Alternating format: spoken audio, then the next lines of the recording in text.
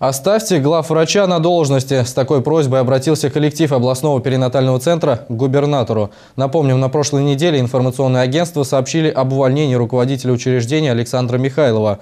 По словам подписавшихся, главный врач перинатального центра сообщил коллективу, что увольняется, не выдержав давления со стороны Министерства здравоохранения. Тем временем под руководством Александра Викторовича центр заработал на полную мощность. По словам его подчиненных, было увеличено количество коек, тем самым удалось помочь большему числу пациенток с новорожденными детьми.